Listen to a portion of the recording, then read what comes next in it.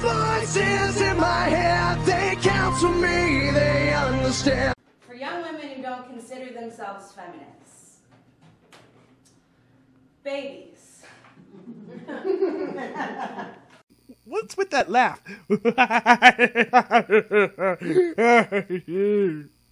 Please, for the love of all that is holy and right and grandmotherly in this world, stop saying that shit out loud.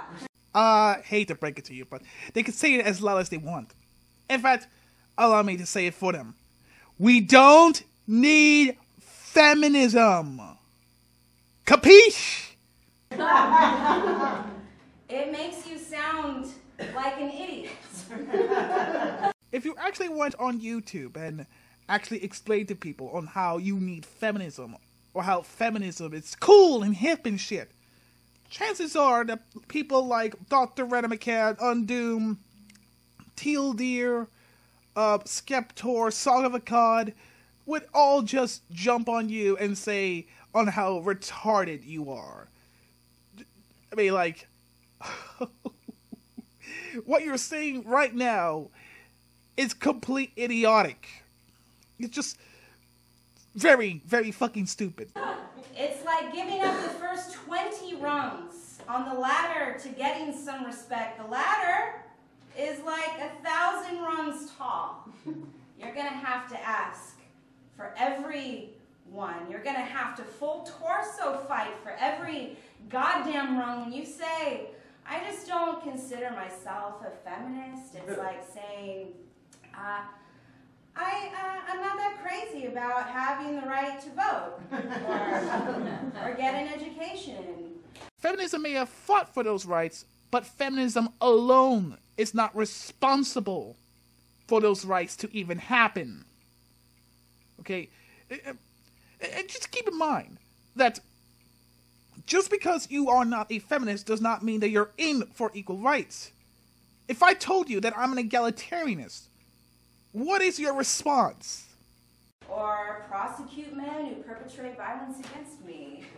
Keep in mind that she says prosecution against men and not prosecution against people in general. Male, female, those who are intersex or Tumblr gender. It's like saying, it's cool if my body's property. What if some of these women like being property? What do you have to say then? Also, if you could, uh, please stop following it up with, uh, I've just never been discriminated against personally. because uh, though that's great. um, yeah, that you've never met any obstacles to your self actualization.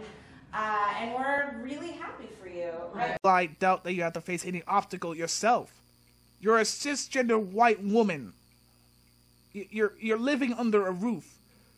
You're pretty much on par with that of men. With any man. In fact, you probably have more rights than I do. And who wants to be president anyway? Am I right? I mean, Too many lady presidents, in my opinion. yeah. Want to know who should be president? Not Hillary Clinton. We're just asking that you keep that to yourself. Well, yes, you should keep it to yourself because your ideologies is just like a religion.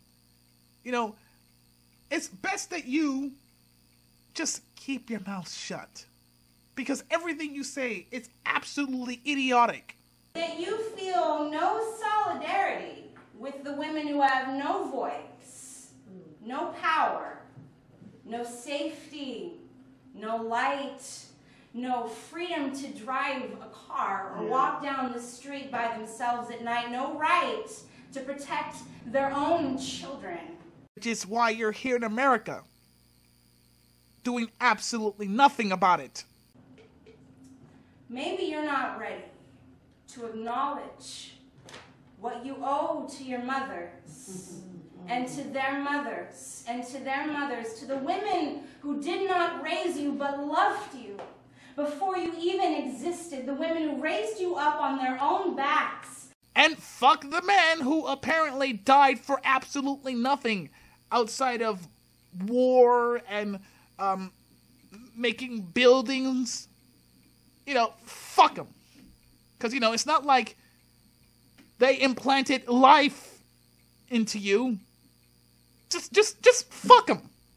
To the Spitfires and the Brawlers and the Bitches. To the snake smart charmers who conned the justice out of men with their sticky honey shining. To the he she's who crossed enemy lines and took the fear and hatred into their own bodies and transformed it into swagger, into I dare you, motherfucker. Maybe you're not ready. Perhaps maybe it's not you that is ready. Maybe it's not you that is ready for reality. To accept the fact that people no longer need a movement that is outdated, that, uh, that has already achieved all its girls here in America. And instead of actually doing something, you know, productive in your life, what you do is basically bitch and moan about how women are still oppressed in a in the first world. Your entire ideology is redundant. I'm sorry. Of course, you're not ready. I am barely ready. I am unprepared. My sex is not a handicap to be overcome. I've got sense like people got worries. I'm not intimidated by mouthy boys or entitled men or roving packs of beer soaked adolescents looking for some proving ground of flesh, but You say that until someone addresses your points.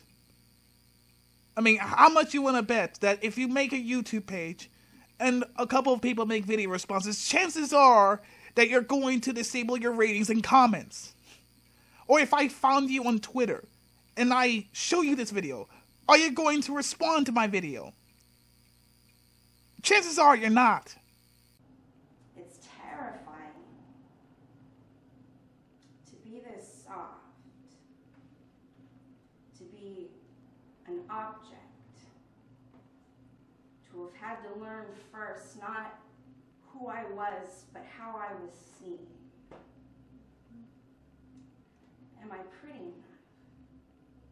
Why is he looking at me like that? Why won't he look at me? Who would love me? Who would love me if I exploit myself first? I will be spared exploitation, right? Mm-hmm.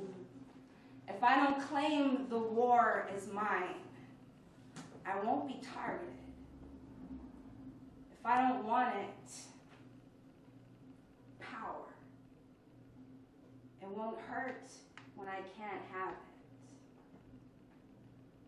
But you can. Don't you feel it? Some repressed ambition stirring nauseously inside of you, the piece of Eve's apple that won't digest, the slow monstering of you when you have to remind yourself to smile and be nice. Boring. This is so boring. This is so boring. Get to the point. the tiger hinging on its hind legs. Don't be grateful. Be ungrateful. Be on your last nerve. Get, Get ready. ready.